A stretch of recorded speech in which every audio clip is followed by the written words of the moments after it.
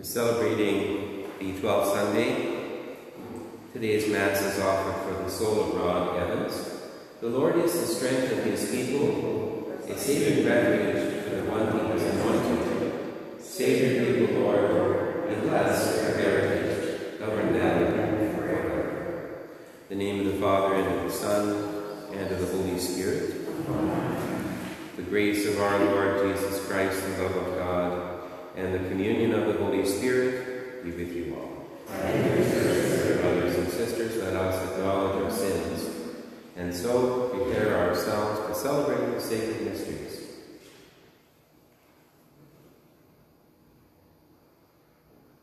I confess to Almighty God, to you, my brothers and sisters, that I have greatly sinned in my thoughts, in my words, in what I have done, in what I have failed, through my fault, through my fault, through my most grievous fault. Therefore, I ask Blessed Mary, Mother of Virgin, all the angels and saints, and you, my brothers and sisters, to pray for me to the Lord our God. May Almighty God have mercy on us, forgive us our sins, and bring us to everlasting life. Lord, have mercy. Christ, have mercy. Lord, have mercy. Glory to God in the highest. And on earth, peace to the people of the Lord. We praise you, we bless you, we adore you, we glorify you, we give you thanks for your great glory. Lord God, heavenly King, O God, Almighty Father, Lord Jesus Christ, only begotten Son, Lord God, Lamb of God, Son of God, you take away the sins of the world. Have mercy on us.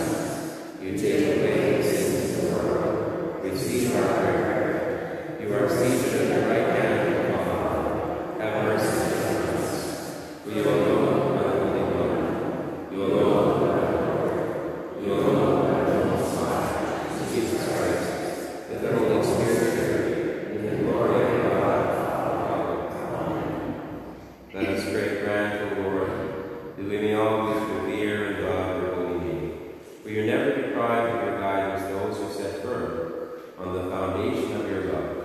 Through our Lord Jesus Christ, your Son, who lives and reigns with you, in the unity of the Holy Spirit, one God forever.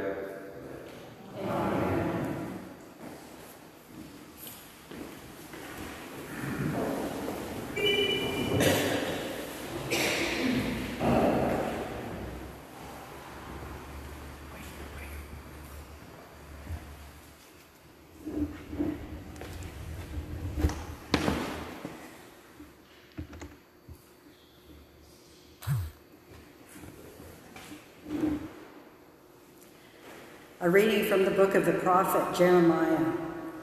Jeremiah cried out, I hear many whispering, terror is all around. Denounce him, let us denounce him. All my close friends are watching for me to stumble. Perhaps he can be enticed and we can prevail against him and take our revenge on him. But the Lord is with me like a dread warrior. Therefore, my persecutors will stumble and they will not prevail. They will be greatly shamed, for they will not succeed. Their eternal dishonor will never be forgotten. Lord of hosts, you test the righteous. You see the heart and the mind. Let me see your retribution upon them, for to you I have committed my cause. Sing to the Lord, praise the Lord, for he has delivered the life of the needy from the hands of evildoers. The word of the Lord. Lord, in your steadfast love, answer me. Lord, in your steadfast love, answer me. It is for your sake that I have borne reproach, that shame has covered my face. I have become a stranger to my kindred, an alien to my mother's children. It is zeal for your house that has consumed me, and the insults of those who insult you have fallen on me. Lord, in your steadfast love. But as for me, my prayer is to you, O Lord. At an acceptable time, O God, in the abundance of your steadfast love, answer me. With your steadfast help, rescue me. Answer me, O Lord, for your steadfast love is good. According to your abundant mercy, turn to me. Lord, in your steadfast let the oppressed see it and be glad. You who seek God, let your hearts revive. For the Lord hears the needy and does not despise his own that are in bonds. Let heaven and earth praise him, the seas and everything that moves in them. Lord, a, a reading from the letter of St. Paul to the Romans. Brothers and sisters, just as sin came into the world through one man, and death came through sin, so death spread to all people, because all have sinned. Sin was indeed in the world before the law, but sin is not reckoned when there is no law. Yet death exercised dominion from Adam to Moses, even over those whose sins were not like the transgressions of Adam, who was a type of the one who was to come. But the free gift is not like the trespass. For if the many died through the one man's trespass, much more surely have the grace of God and the free gift in the grace of the one man, Jesus Christ, abounded for the many. The word of the Lord.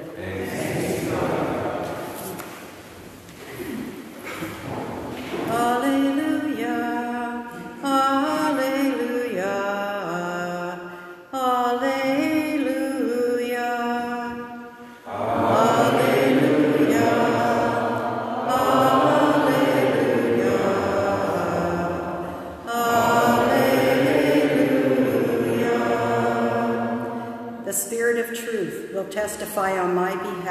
says the Lord, and you also are to testify.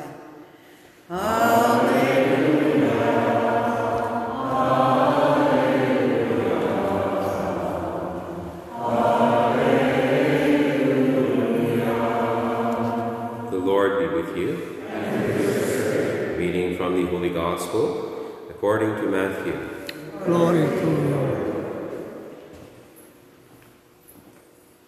Jesus said to his disciples, Fear no one, for nothing is covered up that will not be uncovered, nothing secret that will not become known. What I say to you in the dark, tell in the light. What you hear whispered, proclaim from the housetops. Do not fear those who kill the body but cannot kill the soul. Rather, fear him who can destroy both soul and body in hell. Are not two sparrows sold for a penny? Yet not one of them will fall to the ground apart from your Father. Even the hairs of your head are all counted. So do not be afraid.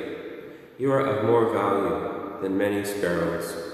Everyone, therefore, who acknowledges me before humans, I also will acknowledge before my Father in heaven.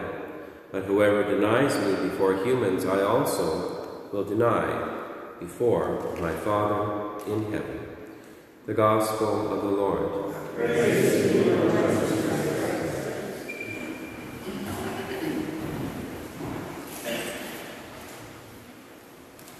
I'd like to begin by a little advertisement. I'd like you to look at all the flowers in church today. We have an amazing display, and I want to thank our ladies who are doing them, especially Marina and Lorette, and uh, also Lou Wuthridge was doing these. And I want to uh, say how amazing this display is. I think there are nine bouquets, all fresh flowers. So my point is, we need your flowers. Please keep bringing them on the Saturday mornings because we really enjoy it and it looks great. So thank you, ladies, and thank you, uh, gardeners, because it's the time of year where we need to see this uh, beautiful expression of creation. This is a prayer from Thomas Merton, uh, who was a very famous monk, uh, a Trappist monk from the U.S., and a great writer of uh, Catholic devotion. And it says, I do not see the road ahead of me. I cannot know for certain where it will end. I know that you will lead me by the right road, though I may know nothing about it. Therefore I trust you always. I will not fear, for you are with me, and you never leave me to face my perils alone. So, a beautiful poem, especially, of course, it is talking about fear.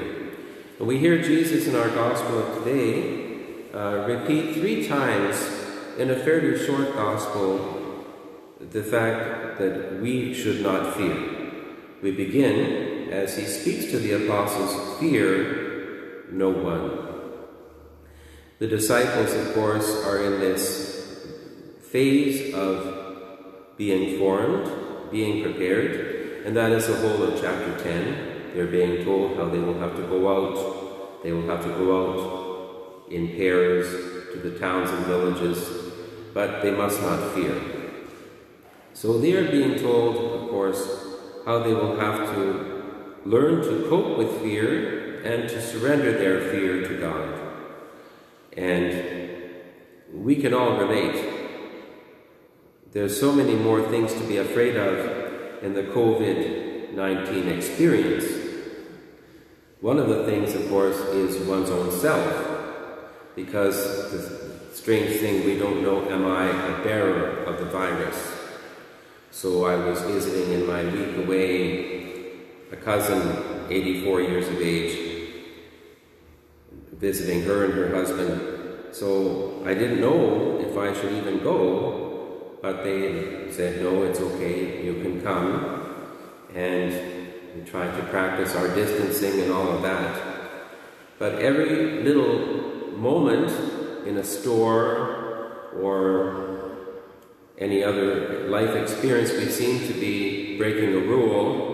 I was in the new grocery store last night in town, and I all of a sudden realized halfway down the aisle, I was going against the arrow direction. You're only allowed to go down one direction in that aisle. So you're committing a sin, you're breaking um, some rule no matter what you do. So we're learning, each of us, to be very patient with ourselves, but also to deal with fear. Uh, the fear, of course, of my neighbor. How many people look at us like we are Darth Vader. I am bringing the virus to you by being my buggy, my shopping buggy is too close to yours.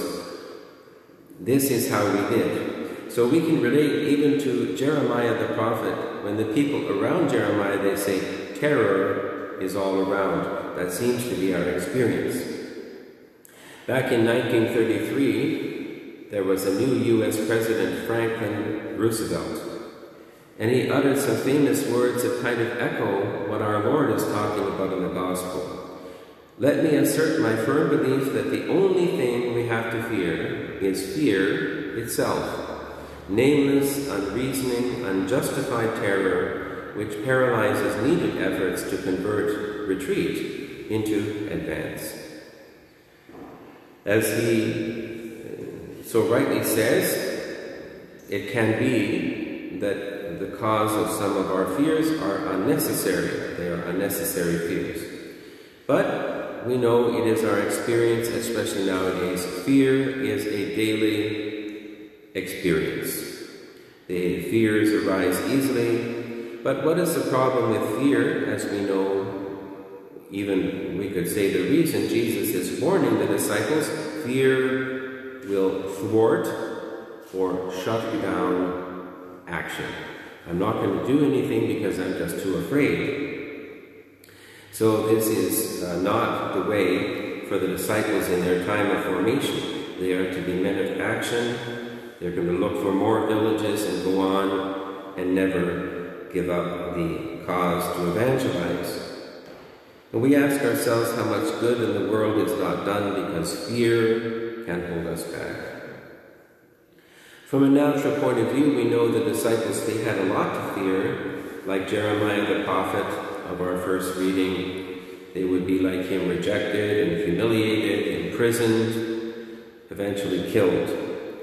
But what they had to learn, though, like the prayer of Thomas Merton said, that Jesus could even overcome their legitimate fears. Yes, we have legitimate fears, but God is so powerful that His power is greater than our fear. He provides strength and courage that we cannot lay claim to by human strength alone. We think of somebody like Mother Teresa, she had to battle governments in communist countries and send her sisters, and she was dauntless. She was just undeterred. Uh, where did this courage come from? But we also know um, that this is the will of the Lord that we live our discipleship not uh, according to fear. Um, and but we know that Jesus will give his strength and His help to those who want Him in their life, to those who open their heart up to Him. One commentator on the Gospel today, he said, All that we have to do is we just have to trust. That's as a person of faith, we just have to entrust ourselves to God. Um, and He looks after the rest. Father Cantalamessa, who's the preacher in the papal household, he said, only someone who knows fear knows what courage is. So it means we have experienced the normal reasons for fear, through danger, through sickness, whatever, but then God gives us this amazing courage. And it means we have abandoned ourselves to Him and He is with us. Jeremiah started out very fearful. He said, Don't call me, Lord, I'm too young, I'm too inexperienced, I cannot speak, don't make me your prophet. But he slowly came to understand that God was with him in the trials that he went through. As he says today, he has delivered the life of the needy from the hands of evildoers. Today it is an appropriate day for us to think of this along these lines of God delivering us from fear, because it is a pro life Sunday in our Archdiocese, and it's also Father's Day. We are thinking of the gift of life through our fathers, be they deceased or alive. And we're thinking of life as something very precious. As we know in the world it is something cheap and worthless to be thrown out. The advance of euthanasia now even a child can ask for euthanasia is wild. It's beyond our imagination. I was talking to a lady in our church, and her son in law is severely depressed, so he thinks he should just have his life terminated due to depression. Does that mean he will be uh, having uh, assisted suicide? In some countries, yes, and we are dangerously on the close, of the close edge of that happening here. So we are in a very dangerous space with euthanasia and, of course, the taking of life in the womb, the redefining of marriage. All of this is an undermining of the family. So these are challenging times. We have to remember what Jesus and what FDR said about fear. We must not give in to it. We must not let fear prevent us from doing what we need to do to make a difference in the world. We end with two thoughts in our gospel, at the end of our gospel. One is concerning the value of our own life, and then the life of every other human being. And Jesus says, Do not be afraid, you are of more value than many sparrows. How many people in this age do not have self love? And many people do not love themselves as God would want them to. Maybe that's all of us. But that's not what Jesus says. The Gospel says we are to love ourselves as a unique uh, creation of God, valuable to Him, with an irrepeatable value. Secondly, we remember our allegiance, that we acknowledge who the Lord is, and in that allegiance, connecting our heart with God, we remember who it is that we belong to. To whom we will one day give an account of our gifts. Everyone, therefore, who acknowledges me before others, I also will acknowledge before my Father in heaven. Whoever denies me before others, I also will deny before my Father in heaven. Today we ask the Lord, whatever may cause us fear or anxiety, that it may be overcome by the trust we owe to God. May fear give way to action on our parts, especially as we pledge our hearts to defend life.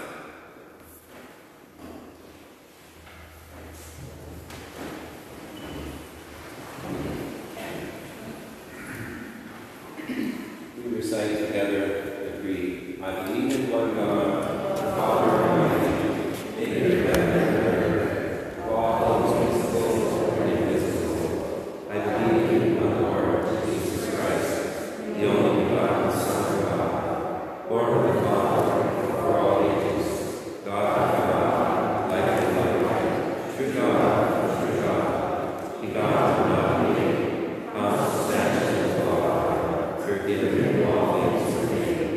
Christ then, for our salvation, he came down from heaven, and by the Holy Spirit was incarnate of the Virgin Mary, and became man. For our sake, he was crucified on Pontius Pilate. He suffered death and was buried, and rose again on the third day, in accordance with the Scriptures.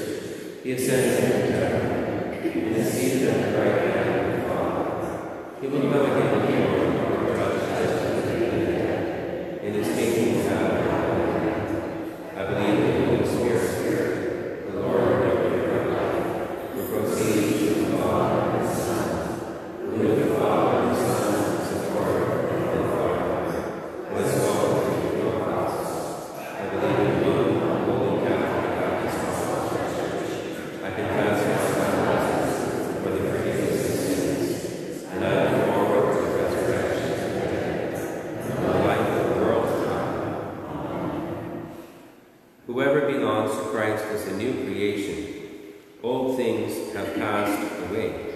New things have come. With a longing for this newness, we turn to the Father with our prayers.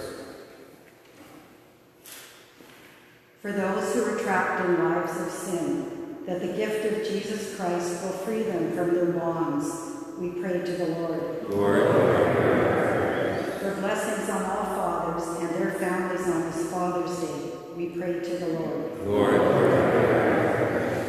For the grace this week to live without fear, acknowledging Christ in all that we say and do, we pray to the Lord. Lord, Uh, for the healing of the sick, we pray to the Lord. Lord, For the souls of all deceased parishioners, especially Irvin Hansen of the Homalco First Nation, we pray to the Lord. Lord. Loving Father, we offer you our prayers regarding faith. Strengthen that faith and keep us true to you through Christ our Lord. Amen. Let us be seated.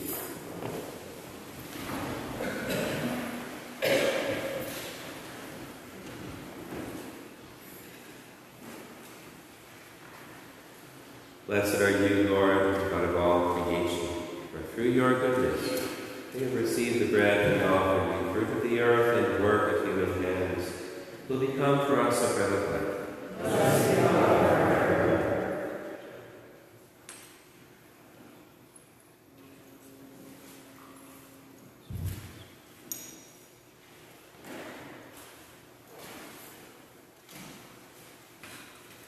Blessed are you, Lord, God of all creation, for through your goodness received the wine we offer you. Fruit of the vine, the work of human hands, and has become our spiritual.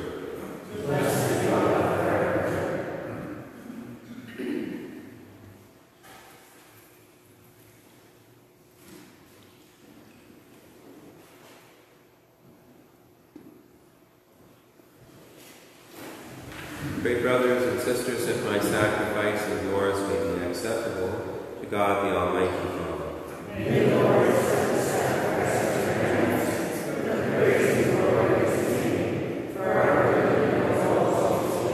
Receive, O Lord, the sacrifice and praise, grant cleansed by its action we may make offering of a heart pleasing to you through Christ our Lord.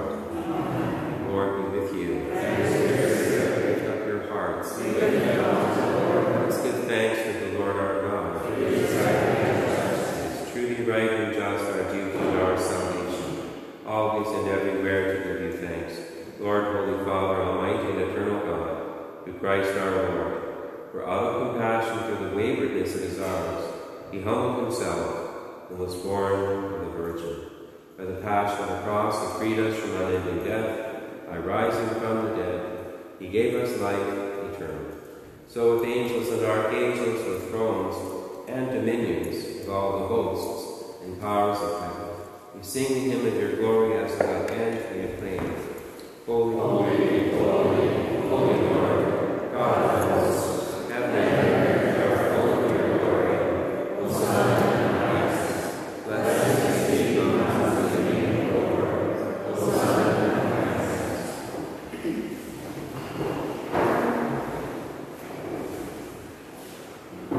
You are indeed holy, O Lord, the fount of all holiness. Make holy, therefore, these gifts, we pray, by sending down your Spirit upon them like a dewfall, so that they may become for us the body and blood of our Lord Jesus Christ. At the time he was betrayed and entered willingly into his passion, he took bread and giving thanks, broke it and gave it to his disciples, saying, Take this, all of you, and eat of it, for this is my body, which will be given up for you.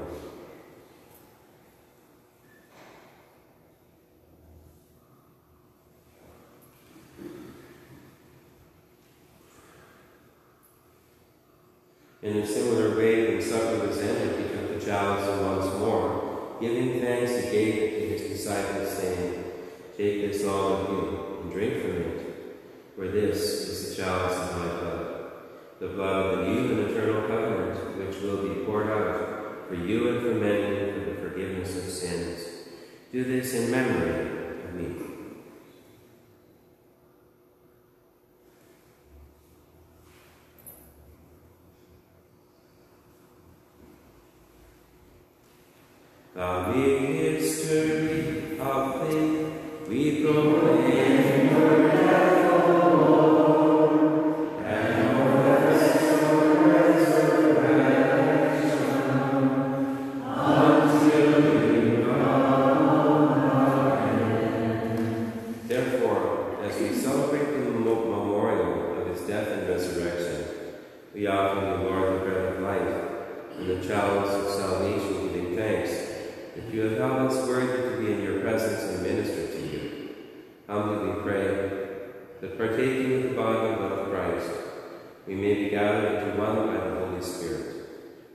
Lord, your church spread throughout the world. Bring her to the fullness of charity together with Francis, our Pope, and Michael, our Bishop, and all the clergy. Remember your servant Rod, whom you called from this world to yourself, grant that he, who was united with your Son in a death like his, may also be one with him in his resurrection. Remember also our brothers and sisters have fallen asleep in the hope of the resurrection and all who have died in your mercy. Welcome them into the light of your face, have mercy on us all. We pray that the Blessed Virgin Mary, Mother of God, the Blessed Joseph, her spouse, with the blessed apostles, and all the saints who have pleased you, throughout the ages we may merit to be co-heirs to eternal life. We praise and glorify you through your Son, Jesus Christ. Through him, and with him, and in him, O God, Almighty in the unity of the Holy Spirit, all glory and honor is yours forever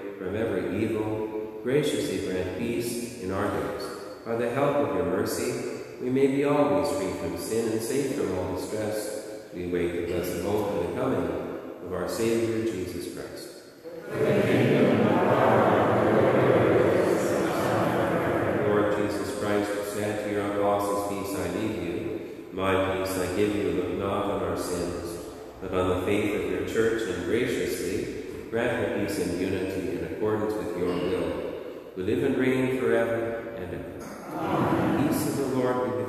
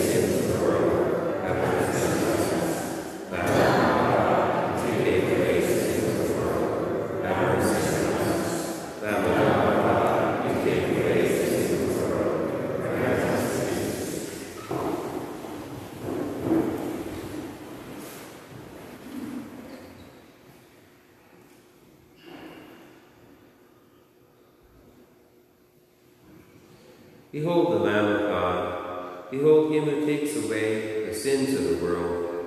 Blessed are those called to the supper of the Lamb. Lord, I am not worthy that. Only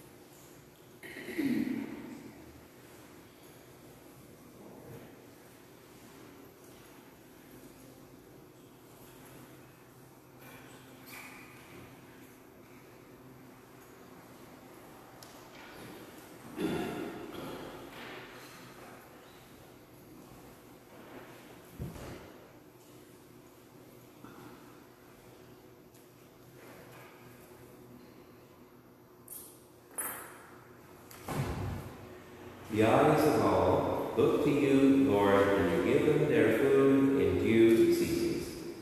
Let us pray. Renewed and nourished by the sacred body, precious blood of your Son, we ask of your, mercy, O Lord, what we celebrate with constant devotion may be our sure pledge of redemption through Christ, our Lord. Amen.